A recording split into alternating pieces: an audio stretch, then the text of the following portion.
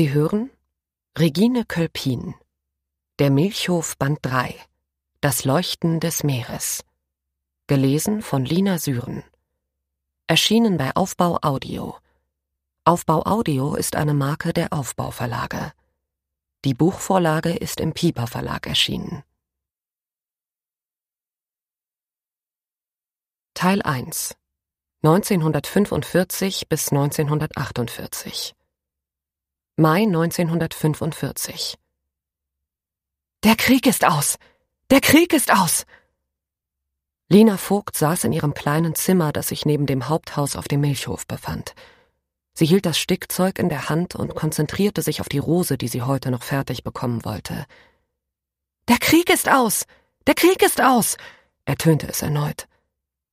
Langsam ließ Lina die Handarbeit sinken. Nein, sie hatte sich nicht getäuscht. Und nicht der Wunsch nach Frieden war Vater des Gedankens. Ihre Arbeiter riefen tatsächlich, dass das Martyrium endlich vorbei war. Nachdem sich Hitler am 30. April umgebracht hatte, war das zwar zu erwarten gewesen, aber kaum jemand hatte diese Hoffnung laut geäußert. Der Krieg, dieses Monster mit den scharfen Zähnen und furchtbaren Krallen, das nichts als Tod und Verwüstung, Leid und Elend hinterließ, aber niemals Sieger, war offenbar gebändigt und schließlich zu Fall gebracht worden. Es war dennoch kein Triumph, denn zurück blieben Versehrte, Krüppel, Waisen, Witwen und traumatisierte Menschen, die ihren Platz in der Welt gar nicht oder nur schwer finden würden. Lina hatte all das bereits mit ihren Söhnen am eigenen Leib erlebt, und sie wusste, dass die Welt trotz dieser erleichternden Nachricht eine andere bleiben würde. Sie war schon nach dem Ersten Weltkrieg zu einer verlassenen Mutter geworden, denn Wilko konnte und wollte nicht mehr in Deutschland leben, weil er das Land nicht mehr ertrug. Und Ludger, ihr stiller Ludger, der doch einst als Bankmitarbeiter eine große Karriere angestrebt hatte, war mit seinem Dasein überhaupt nicht mehr zurechtgekommen und hatte sich in die Arme der ewigen Ruhe begeben. Manchmal beneidete Lina ihn. Er musste keinen Schmerz mehr ertragen. Erneut schalten die Rufe zu Lina und rissen sie aus ihren trüben Gedanken. Kapitulation! Bedingungslose Kapitulation! Es ist vorbei! Es ist wahrhaftig vorbei! Noch immer konnte Lina es nicht glauben. Deshalb blieb sie zunächst auf ihrem Stuhl sitzen und schaute nachdenklich aus dem Fenster des oberen Stockwerks über die Wede.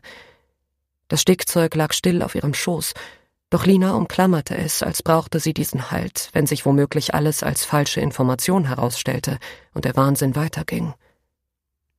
Aber das Geschrei ebbte nicht ab, sondern blieb laut, fast hysterisch, und es erschütterte die friesische Wede auf eine unnachahmliche Weise.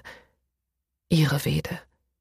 Hier hatte sie das Gefühl von Freiheit, weil die Weite der Landschaft die nötige Ruhe vermittelte, und sie den Anblick liebte, wenn der Himmel am Horizont die Erde küsste. Selbst in den letzten schlimmen Jahren hatte ihr diese Kontinuität die nötige Sicherheit gegeben und sie daran glauben lassen, dass nicht alle Grundfeste erschüttert werden konnten. Es gab immer etwas, was blieb. Es existierten eben Dinge, die konnten Menschen nicht verändern.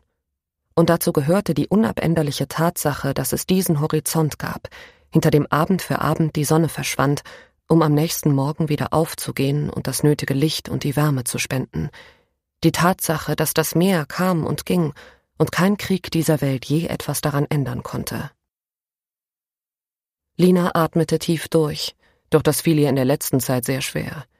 Zu sehr drückten die Sorgen, zu schwer war die Last auf ihren Schultern geworden.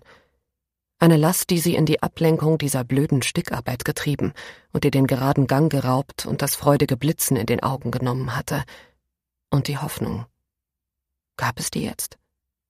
War der Frieden tatsächlich greifbar und keine Seifenblase, die kurz bunt schillerte und dann schlagartig zerplatzte?